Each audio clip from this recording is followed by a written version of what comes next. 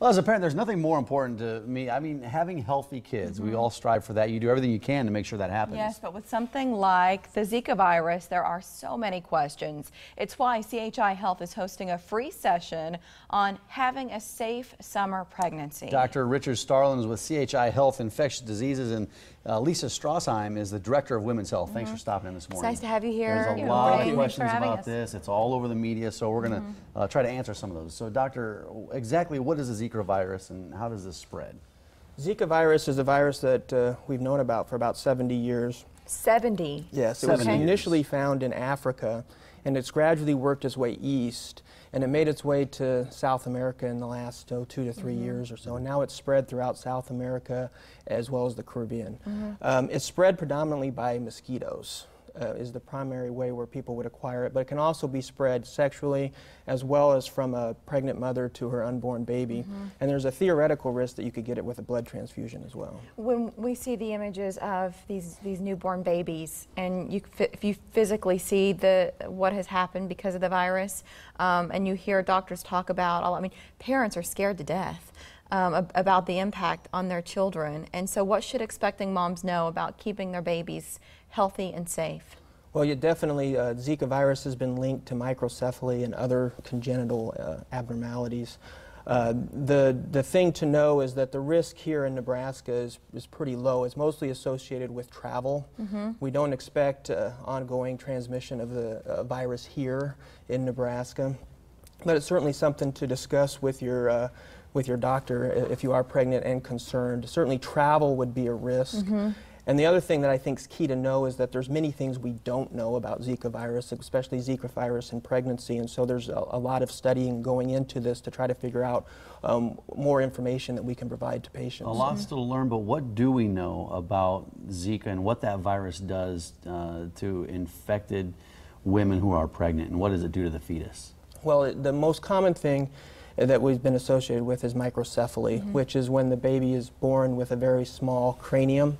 Um, but you can also have uh, other uh, abnormalities as well, and all of the uh, abnormalities are, uh, that we're looking at are being still studied so that we can determine what is the risk, when the risk might be if you acquire it at a certain point during pregnancy. Uh, so right now, the main focus that we're doing is trying to avoid uh, anything that might expose a pregnant mother to the Zika virus. You said the numbers aren't that high here um, in our area. Do you know what they are? How many cases there have been reported in Nebraska, also in Iowa? Currently in uh, Nebraska, there have been two cases that are Mm-hmm. reported on the CDC website. I don't remember Iowa's off the top of my head. Low, but you know, you worry about the Olympics and that sort of thing, and that's where people start to get concerned that the spread happens more rapidly with travel to South America. Correct. Travel is going to be the biggest risk factor that we have Mm-hmm. now. Persons traveling down there and then returning back, perhaps with Zika virus. So, if you're considering pregnancy in association with travel, there are Mm-hmm. guidelines that can help uh, give you some uh, idea of what you might be thinking about and discussing that with your physician. Lisa, you have this upcoming seminar that you're going to address a lot of this stuff, more than we can get to in the five Yes. minutes here. But what are you going to uh, discuss? I assume myths, um, how people can get infected. What are you going to talk about? Yes, we have an opportunity. We have uh, two of our providers, uh, Dr. Jim Smith, who's maternal fetal medicine, and he will be um, having a short presentation and a question answer uh, session for anyone that has questions.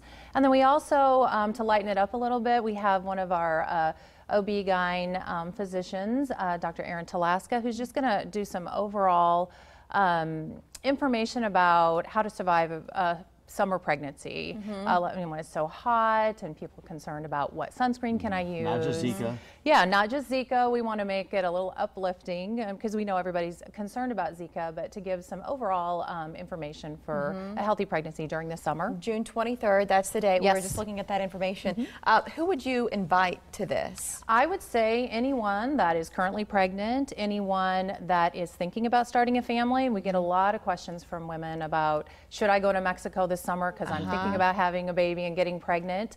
Uh, dads, significant others, family members. Um, it's going to be a really fun event. We're going to have um, some food and people can get a, a quick uh, tour of our maternity sites and our NICU there. So um, we're real excited about it and everybody come out. Uh, But what I'm he- I hear you say is even though you have these topics, which you'll you'll present and talk about, women could also bring their own questions in. Absolutely, and that's what we're hoping for. Yeah, that's June 23rd. Dr. She brought up a great, great question. People traveling to Mexico, what are the risks should uh, women who are thinking about getting pregnant or are pregnant, should they be concerned about traveling? Um, I think if they're thinking about getting pregnant, yes, there should be some concern with traveling. The current recommendation is, is that if a, a woman travels to an area where there is ongoing transmission of Zika virus, that they wait at least two months after returning to consider a pregnancy.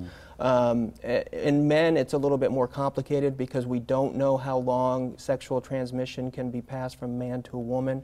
So the current recommendation would be uh, wait two months if there's no symptoms at least, and if a man has had symptoms from the Zika virus infection, then wait at least six months. But again, there's much more information that's going to come out of these as we get more information uh, from uh, studies. This Yeah. free seminar, it's on June 23rd. Um, we've covered as much as we can here this morning, but that's why we'll send you to this event. Um, it is free.